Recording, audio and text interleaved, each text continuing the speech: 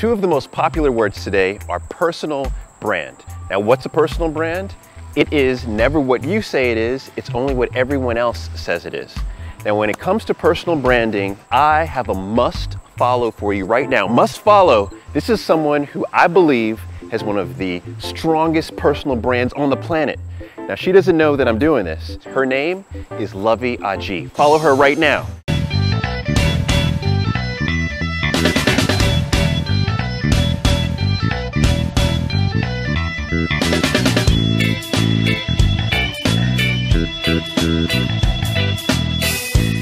Ajayi. Now, why do I love Luvvie Ajayi's personal brand? This is why.